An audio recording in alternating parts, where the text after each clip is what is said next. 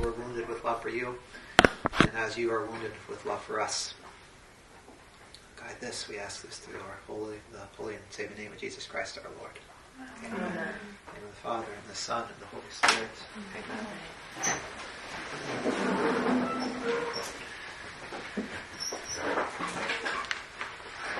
So the poem Spiritual Canticle, it's filled with this longing of the soul for God, the wounded lover, you know, even from the very first stanza.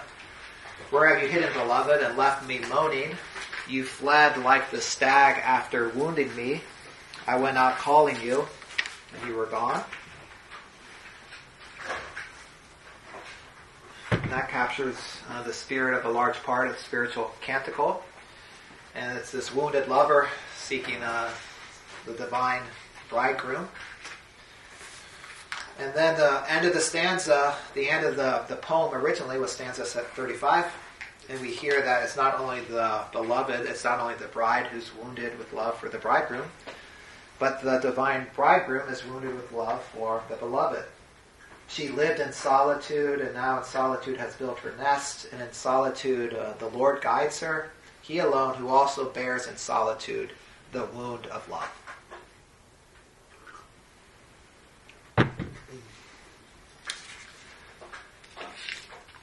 So to think about that, uh, the Lord has a heart wounded with love for us. And it's a great mystery. Right? Because God is. Okay, so just John the Cross comments on it here. That is, he is wounded with love for the bride. The bridegroom bears a great love for the solitude of the soul.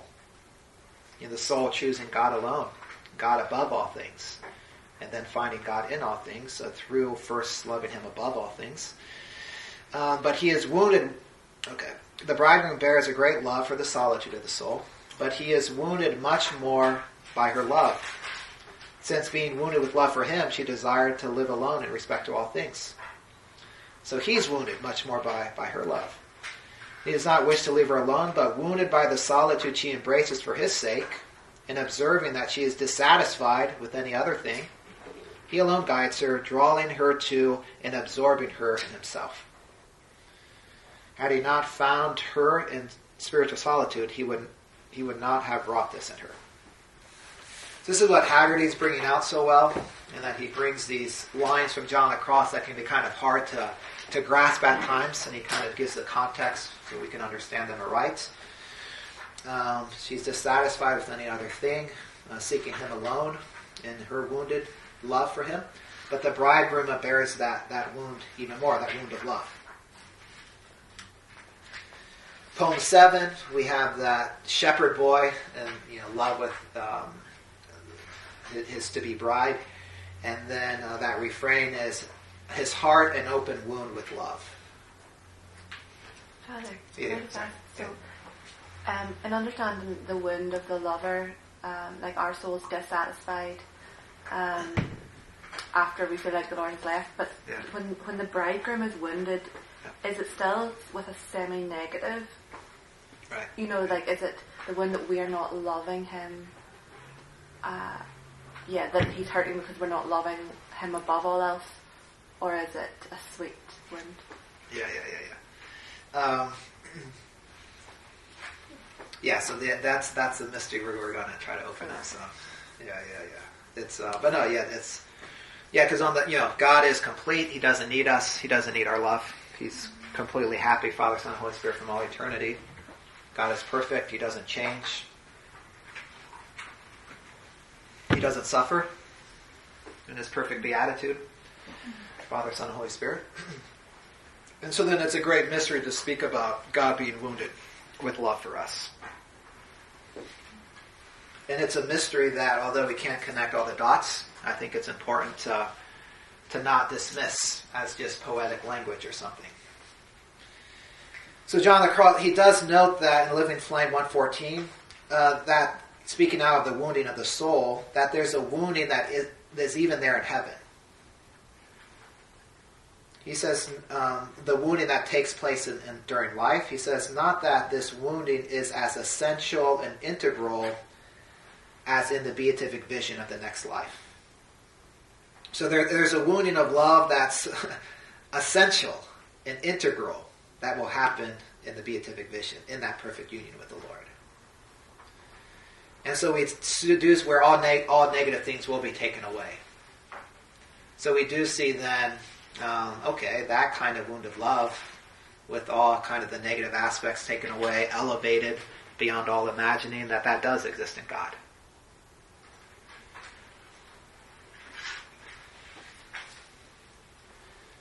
And so it is a very profound kind of end to spiritual canticle, to the poem. Uh, and, and this, um, I mean, also just other references on this 13.2, 13.9, 31.9, Living Flame 114. Um, so God is perfect. He doesn't need us. Um, in a way, He's not hurt because He doesn't suffer any lack. But on the other hand, you know, He's not just perfect being. He, he is the God of love. And so there is something, you know, there is a tenderness in His heart for us. There is a, a tenderness. Uh, there is a longing. There is um, a, a thirsting. So Mother Teresa, this is a great mystery that she dwelt with. You know, in the, the wall of every MC chapel, you have those words, I thirst. And what's the mission of the MCs? What's our mission? To quench the thirst of Jesus. Some Mother Teresa says, the reason of our existence is to quench the thirst of God. I don't say even Jesus or on the cross, but of God, the thirst of God. Try to deepen your understanding of these two words, thirst of God. And so this thirst of God is expressed on the cross. It does come out, enters into our human history, especially on the cross, where Jesus prays, I thirst. But in that manifestation of God, right, because the cross is a theophany as well, it's manifesting something of that mysterious thirst of God.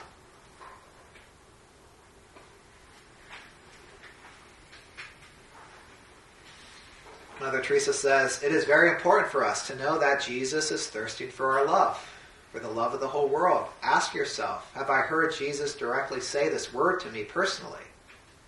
Did I ever hear that word personally? I thirst. I want your love. If not, examine yourself. Why could I not hear? She also says that word, I thirst, has it penetrated into my heart? We are called to quench the thirst of God the Catechism, you know, the beginning of its treatment on prayer, the fourth part, it says prayer is a mystery of thirst. Our thirst coming into contact with God's thirst for us.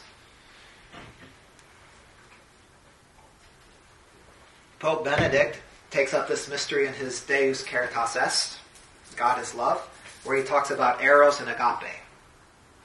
So those two kind of key Greek notions of love. Eros, yearning, thirsting, agape, the self-giving love. And Benedict says, you know, for a while, or you know, Benedict drawing on other people, say for a while they were kind of contrasted.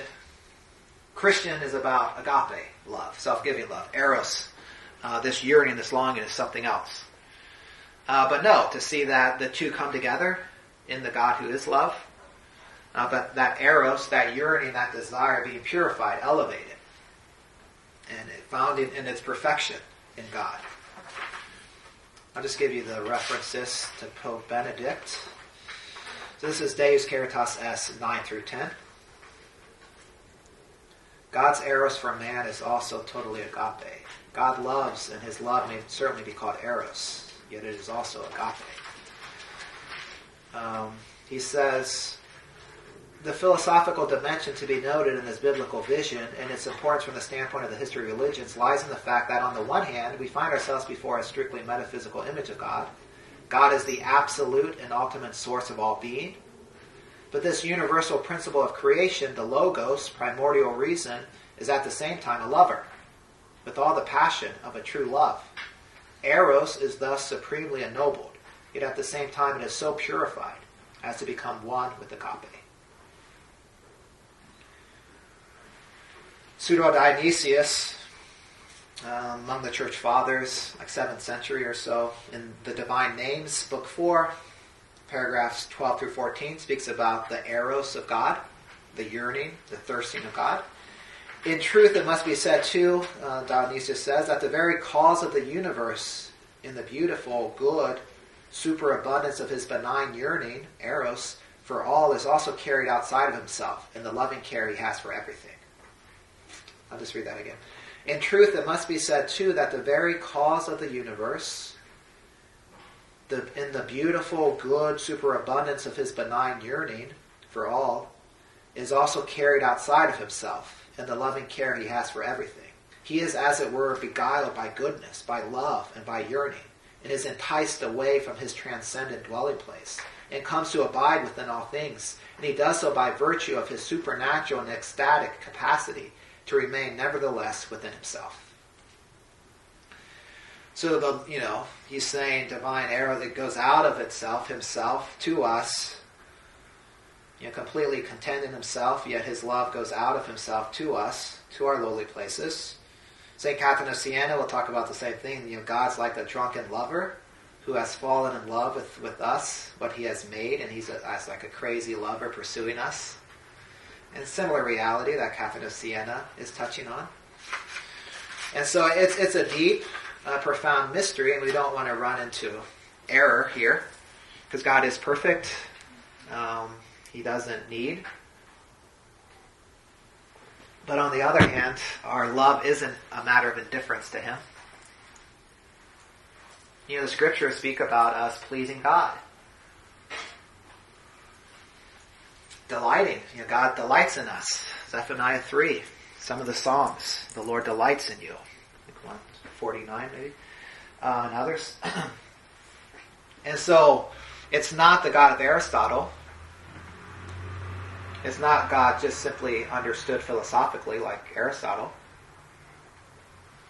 No, it's the God manifested, revealed in the sacred scriptures. The God who is like that, passionate lover for his, his beloved, for us, while being, you know, content in himself.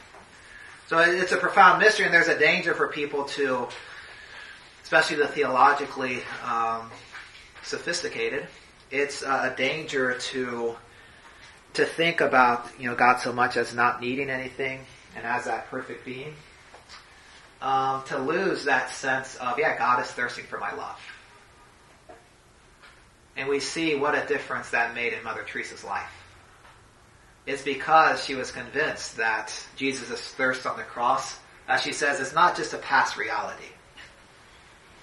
It's a present reality. His thirst for us and our thirst for, for our love. And having that penetrate her heart caused Mother Teresa to be what she was, to live the way she loved. You know, she would have thought God was indifferent to her acts of love. She wouldn't have sacrificed as much. If we think our acts of love and our acts of sacrifice are a matter of indifference to God, um, we're, we're going to be less prone to do it. And that's where a lot of people are, huh? Uh, but if we have a sense of like the Lord thirsting for my love now, thirsting for this this little deed of you know going out and serving the poor, pouring myself out in this way or that way, I'm going to be more prone to do it, and I'm going to be haunted if I don't do it by the thirst of Jesus for me, for you. So it's an important mystery, this mystery of God's heart being wounded with love for us, because He's not just the God of absolute being. He, he's a God. Uh, he is that, as the God of love. So in his love, it's not a, a, sense of neediness, but in his love, he allows his heart to be touched by what we do. To we, we can delight him. We can please him. And so to not to kind of lose that part of the mystery, because it, it makes it, it changes how we live. Mother Teresa says in her famous uh, Varanasi letter from March 25th, Feast, Feast of the Annunciation, 1993. I don't have time to quote it all, but um, for me, it is so clear everything in the Missionaries of Charities, Charity exists only to satiate Jesus. His words on the wall of every MC chapel, they are not from the past only, but alive, here and now, spoken to you. Do you believe it? If so, you will hear. You will feel his presence. You will feel his love. Let it become as intimate for each of you, just as it is for mother. This is the greatest joy you could give me. Mother will try to help you understand, but Jesus himself must be the one who says to you, I thirst. Hear your own name, not just once, every day. If you listen with your heart, you will hear, you will understand. Why does Jesus say, I thirst? What does it mean? Something so hard to explain in words. Right? So Mother Teresa, she, she appreciates the mystery. She's not just a simple believer who doesn't appreciate the theological complexity here and speaking poetically. No, she appreciates the difficulty. Something so hard to explain in words. I thirst is something much deeper than Jesus saying, I love you. I thirst is something much deeper than Jesus just saying, I love you. Until you know deep inside that Jesus thirsts for you, you can't begin to know who he wants to be for you or who he wants you to be for him. So there's a lot riding on this. And when it comes to the God of love, I'm prone to kind of throw my lot in with the mystics and how they describe it, more than, let's say, the academic at his desk. Um, you know, who has greater contact with God's love? A saint like Mother Teresa. She's opening for our eyes to this great mystery. And uh, to receive it as such. You know, it, I don't think it should surprise us that when we come to the center of what God is, love, so we're going to find a mystery there.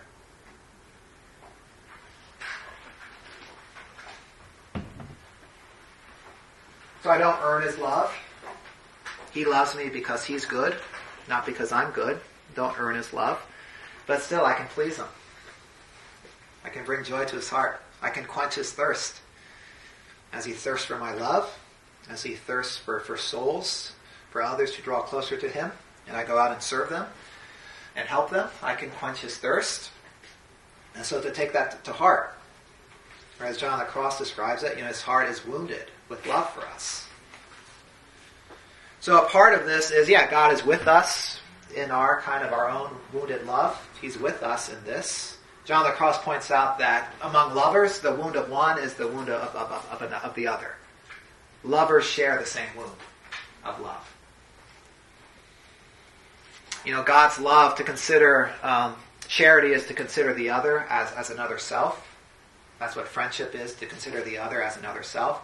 And God so considers us another self to Him that we share the same wound of love.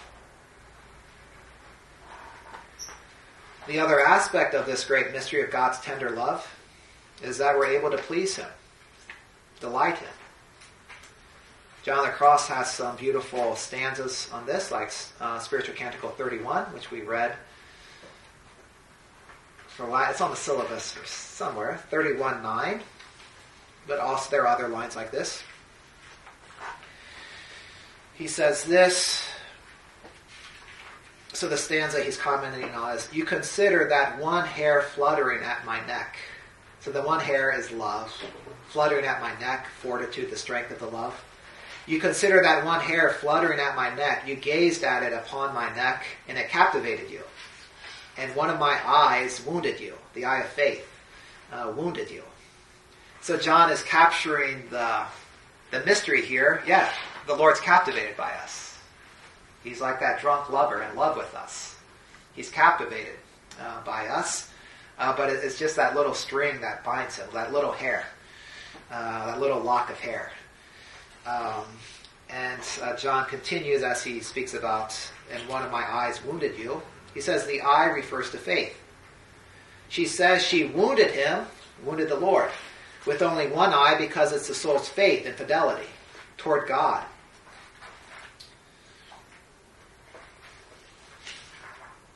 And she, he says, um, if the soul's faith and fidelity toward God were not single, but mixed with some other human respect, it would not attain such an effect as to wound God with love. to wound God with love.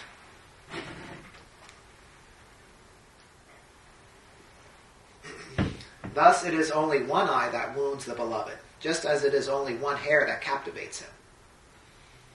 And so intimate is the love with which the bridegroom is captivated by the bride in this single hearted fidelity, he be- beholds in her that, if the hair of her love captivates him, the eye of her faith so tightens the bonds of his captivity as to cause a wound of love, a wound of love in God. This wound of love is the result of the tenderest affection with which he loves her, which means he introduces her further into his love. So yeah, he, you know, he speaks about God as, as if being brought captive. Um, she glories here in this union and thanks her spouse for this favor received from his hands, and she values highly the fact that he should be satisfied and captivated by her love.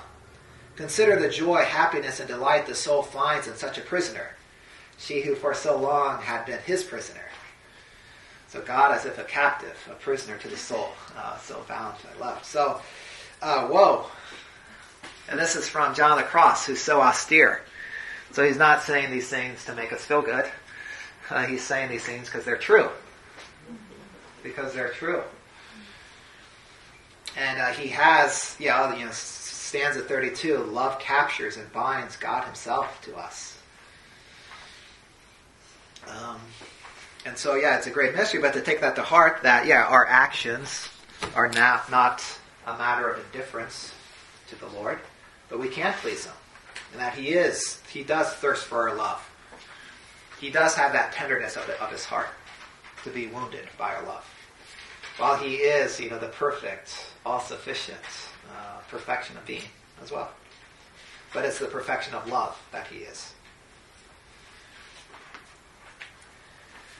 So that's the, the wound of love, kind of opening up that mystery, even as, as it exists in God. And as that wound of love drives us to self giving love among our neighbor, we have a beautiful connection between contemplation and the yearning for God and our acts of service, our sacrificial deeds of service for others. So, this is what I want to talk about the last 15 minutes. but it's, it's okay, yeah, because I, um, yeah. These other require more. any well, any questions or comments on that? Do You got you you catch the mystery, and you catch the the danger of reducing God from a mystery to something that we can grasp better. Mm-hmm. Oh yeah, He's the all sufficient, perfect being.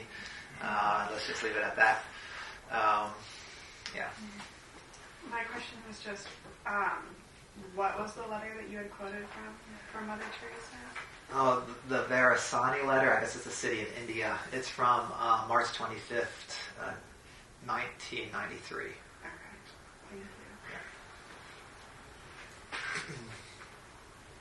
So yeah, saint for our day, kind of bringing out this this mystery, and she does say that somewhere, like yeah, this is a neglected truth of God um, that she's kind of helping to bring out. yeah, but we do see traces of it in all the ways I've described and earlier people, including John of the Cross. Right. It's you know it's John of the Cross who I trust, and you know tell me about the God who is love. It's Mother Teresa who I trust uh, to kind of open up that mystery before my eyes.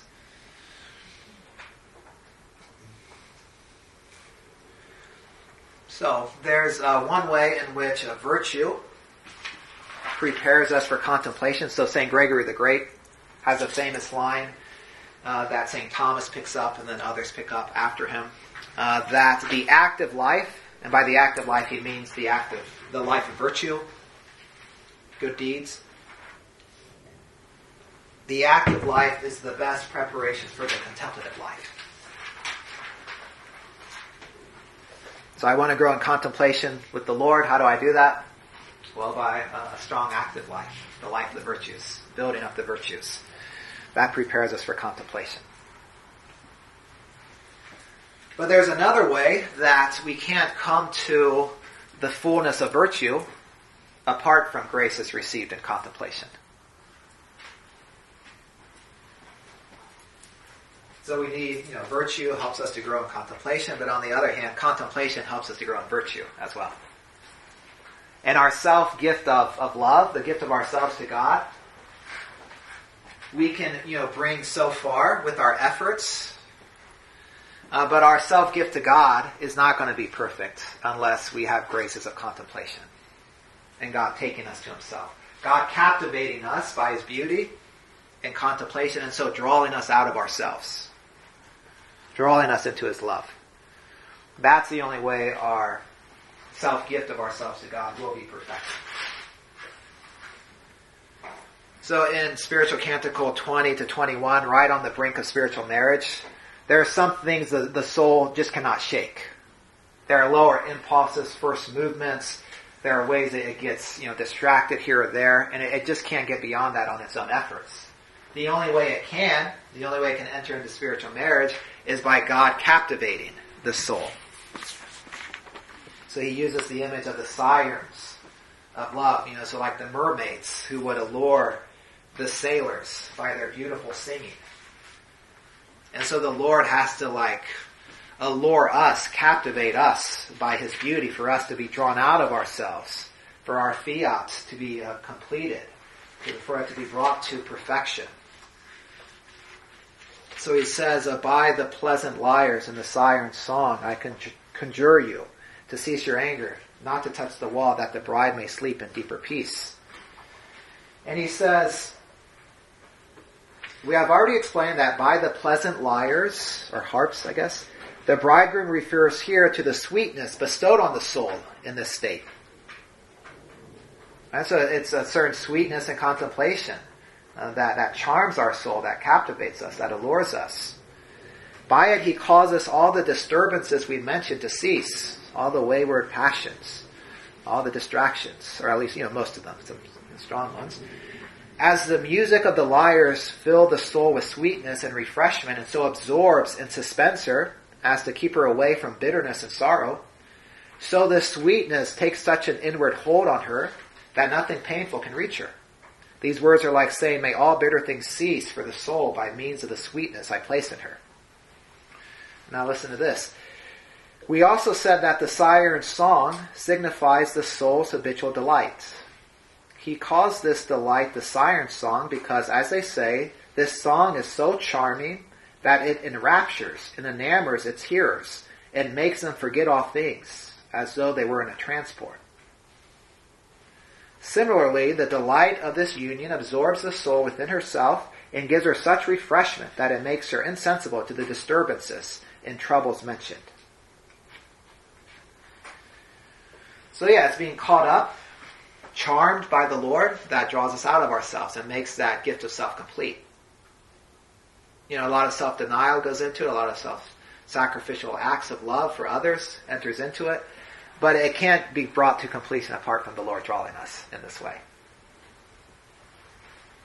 And we can say, you know, this is what's necessary for this final transition into spiritual marriage. Um, can it be helpful also in earlier stages as well? And why not begin to try to live this as best we can now? Being caught up in, in praise and thanksgiving of the Lord, in contemplation of Him, as a way to draw us out of ourselves and help us now. So this, this similar dynamic, uh, you know, it can be at work, you know, at all stages of the spiritual life. And it is at work. St. Bernard, he'll speak about, you know, temptations of the flesh that you suffer. He says, leap over them. You know, if you're caught up in love of God and captivated by Him in contemplation, these things are forgotten. And that's the best way to overcome these temptations. You know, we can't always leap over them. Um, and there are other kind of ascetical practices and self-denial. But yeah, there's a point there. If you're caught up in contemplation and praise of the Lord, you know, lesser things begin to fade from your mind and heart. So to begin to live that now as best we can. I remember speaking to a, a nun one time, and she was saying how because even nuns, you know, they, their schedule is not. They have some free time, and how they they arrange things is left to them a lot. And so she, was, you know, explaining just how it's difficult to make time for prayer, right? Coming from a nun, we find that surprising. Because it's a assumed, you know, there are things that have to get done in the monastery. And it's so easy for us to get caught up in things that have to get done. There are things that have to get done in your missions and it's so easy to get caught up in that. And for that to become the, the primary thing, and so you don't make time for prayer. Even prayer that your kind of your your rule obliges you to. So she was coming, she was kind of talking about that, and I'm like, you know, sister, like this is why you came to the monastery to have time with the Lord, uh, to to pray. And then she comes back and she said, No, I came to the monastery uh, to make that gift of self to the Lord. Um, and so that silenced me. But that was a pretty good comeback. Um, she came to the monastery not to pray, she came to the monastery to give herself to the Lord. Wow, okay. Um, so I kind of leave, you know, humiliated dog with the tail. and then I'm pondering it, so then, you know, a couple days later we meet again.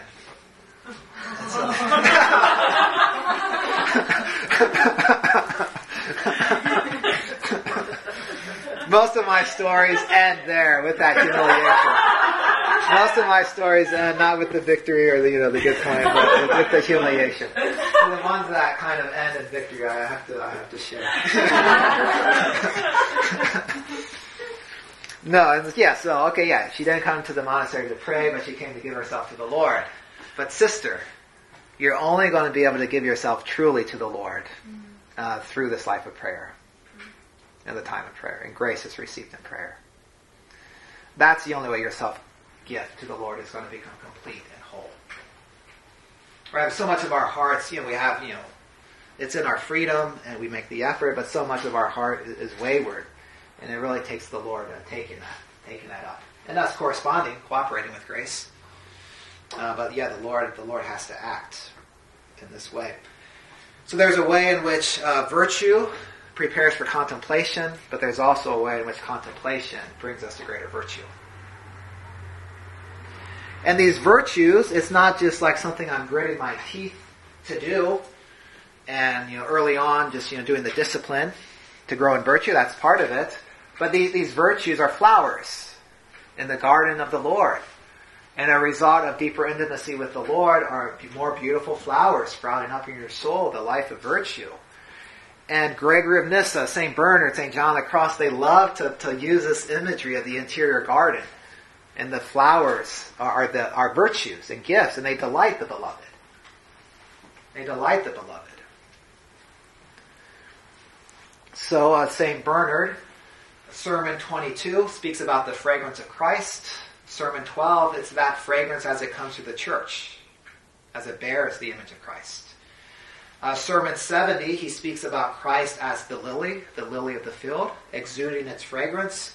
And from Sermon 70 and then to 71, then he talks about the church as being uh, smaller lilies, exuding the fragrance of the lily, the Lord Jesus, his fragrance.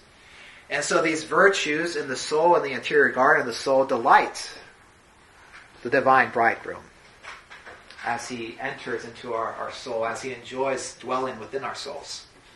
And so to see the life of virtue in those terms, you know, not just that hard uh, discipline, the left part of it, but to see it as, um, yeah, flowers of the garden and the Holy Spirit as that wind breathing through our garden and the fragrance of those virtues exuding before the Lord as a fragrant aroma, as incense in His sight, but also exuding out into the world the lilies of these virtues, and that attracted people to God.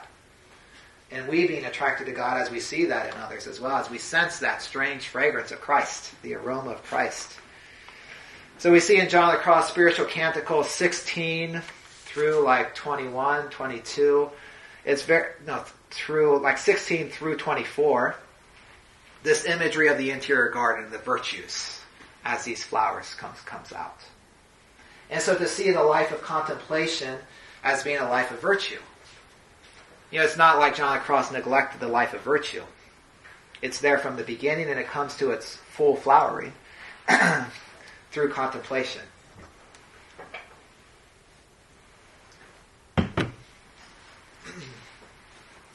And he says in, um, I forget if it's 24 or 17, Spiritual Canticle 24 or 17, which you read, that these virtues are shared in the properties of God. Yeah, so this is uh, number four of 24. Stanza 24, number four. These virtues are the dens of lion that protect the intimacy with the Lord, the contemplation, but they're also the flowers that, that come forth. John the Cross says in 24.8 that virtues established in God, each virtue is peaceful gentle and strong. So we have that kind of paradoxical, gentle yet strong, these virtues. Peaceful, gentle, and strong. And they bear the aroma of Christ. By the dens of lions, he understands the virtues possessed in the state of union with God. For the dens of lions are very safe and protected against all other wild animals. Thus, when the soul possesses the perfect virtues, each of them is like a den of lions, in which Christ, the bridegroom, united with the soul in that virtue, and each of the others dwells and assists like a strong lion. And the soul herself, united with him in these same virtues, is also like a strong lion, because she thereby receives the properties of God. Right? So the virtues are God's characteristics, the properties of God. As we become more like God, it's, it's growing in the virtues, which are reflections of God's attributes. It's like that wood placed in the fire. The fire uh, begins to share its properties with the wood. The wood begins to shine, to glow, like the fire does. It begins to heat. The wood begins to heat like the fire does. It shares the properties. And that's what's happening here. The soul begins to share more and more God's properties in the virtues. And these virtues have Christ dwelling in them. The dens of lions in which Christ, the bridegroom, united with the soul in that virtue, and in each of the others dwells and assists like a strong lion. So it's about um, participation in Christ. Participation in God, as he says in number five, these virtues. And Christ is at the center of them. So the life of virtue is not just like human effort. It's part of our life in Christ. And so Christ is there in the exercise of the virtues. Elsewhere, uh, John the Cross says, you know, practicing the virtues contains a certain happiness and delight. It's what we're made for. Aristotle makes that point too. And so to appreciate that happiness we have, delight in the life of virtue, to find Christ in the middle of that as well. He's the source of it. It's reflecting Him, and He's He's there in union with us through through those virtues.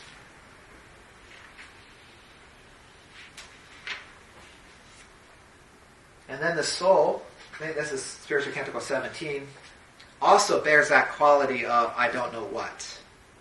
Because it's not just human virtue, it's a share in, in Christ, a share in God's own properties. So he says in 17.7, uh, she is like, she is in a pleasant garden, filled with delights and the riches of God. And not only when these flowers are open can you see this in these holy souls, but they ordinarily bear in themselves an I don't know what of greatness and dignity. This causes awe and respect in others because of the supernatural effect diffused in such persons from their close and familiar conversation with God. Right, that's why people were attracted to, to Mother Teresa. They sensed that I don't know what of God in her. And she exuded that fragrance of the mystery in her life. So that's the, the life of the virtues. And the life of the virtues are part of our self gift to God. Right? We, we like the language now, the self gift to God. John the Cross uses the same language. Um, but to see that, what does that self gift look like? The life of the virtues. Including all the virtues, you know, theological virtues as well, but also the infused um, moral virtues my friend uh, Adam Eitel, he's the Yale professor, he's a strong Thomist. But he, what he likes to do is take St. Thomas, and so he's working on a book now, St. Thomas on the infused virtues. But kind of what he's doing is interesting. Then he looks at stories from the Dominicans of that time. And the Dominicans, um, like Lives of the Brethren, where basically they're, they're walking uh, in the power and the charism of the Holy Spirit.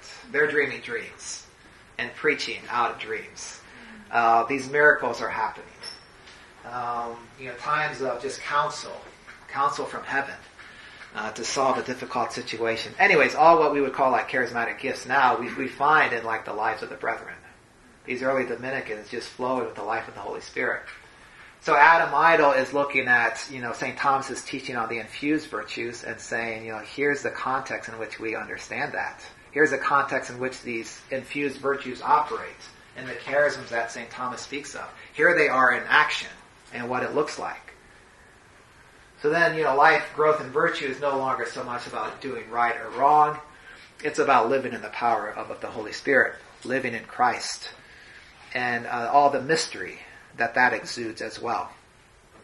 And that I don't know what quality about it all.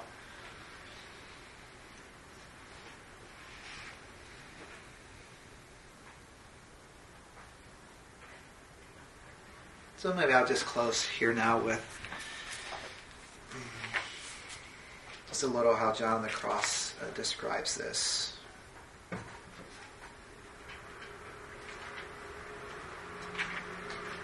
The garden is the soul.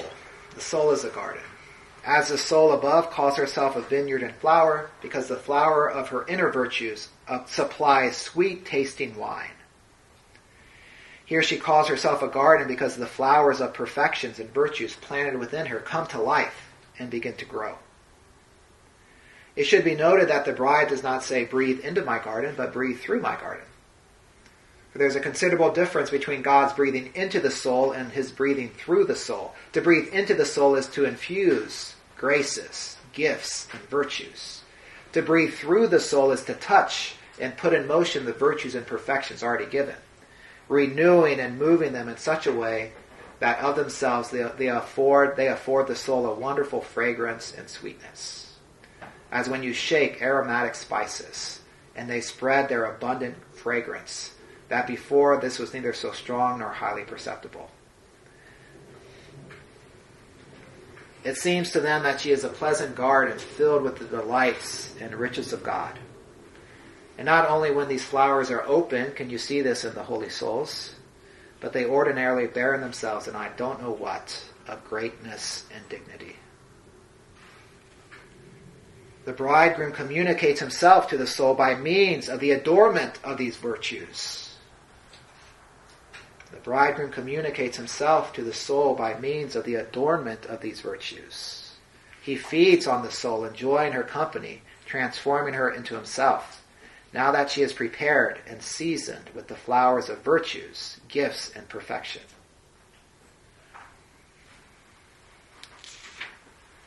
So let's uh, close here with some prayer.